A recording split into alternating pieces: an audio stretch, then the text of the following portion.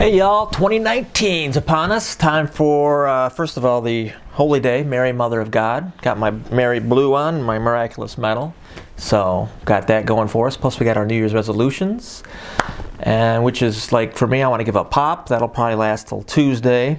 I want to exercise, do some planking, walking, a little bit every day. Don't want to do too much because I know I'll fail otherwise. I want to pray the rosary every day and I want to evangelize. I bought this camera a long time ago thinking, you know, God's calling me to evangelize and then I just don't do it. I, whether I'm not prepared, I think I got to be perfect, write the perfect script, blah, blah, blah, whatever. I've always made excuses. It's a new year, time to step it up. The laity, we've got to step it up, you know. Um, the clergy, they got their own problems so we have to step it up. We have to take it upon ourselves to share the gospel. Um, why? Why do we have to do that? First of all, it's necessary for us to grow in holiness. Actually, the Catechism of the Catholic Church says in paragraph 1816 that evangelization is necessary for salvation. So, there's that. We save our own souls. And plus, the world outside is dying. I mean, people are just selfish, they're greedy, they're lustful, they're angry, they're violent. And so the cure to all that is a relationship with Jesus. Okay? And people cannot have a relationship with Jesus if they don't know him. Okay, the Bible says in Romans 10 that faith comes by hearing. Okay? That means we have to share the story of salvation with them. All right? So it's on us.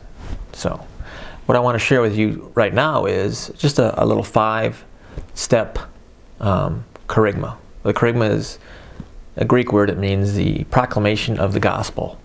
Gospel means good news, so a proclamation of the good news. That's the story of Jesus and the story of you and the story of salvation. There's five parts to it.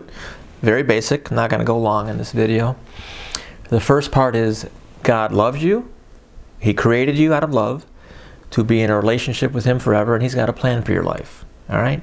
You're unique, you're precious, and you're unrepeatable. Okay? That's what you need to know first. That was His original plan. The second part is sin entered the world. Adam and Eve fell. The devil influenced them. Um, and the result of their fall, their disobedience to God, is that they died spiritually.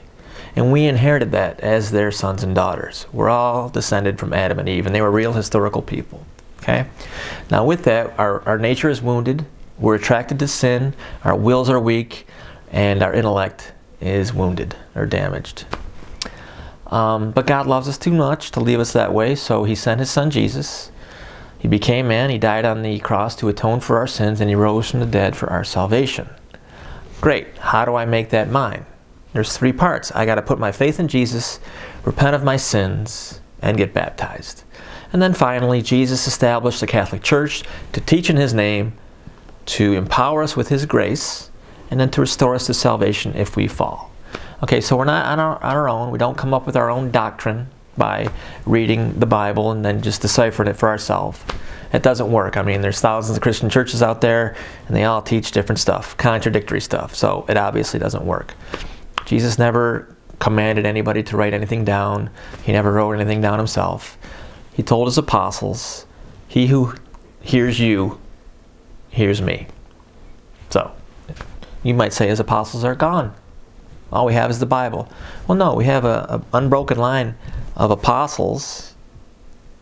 They handed down their authority to men all the way back in the year 33 all the way down to today. And those, those bishops, we call them now, had the power handed on to them from the apostles. An unbroken line of succession. That's very important, very impressive. So that's it. I'll talk to you later. I'll make another video um, soon. God bless.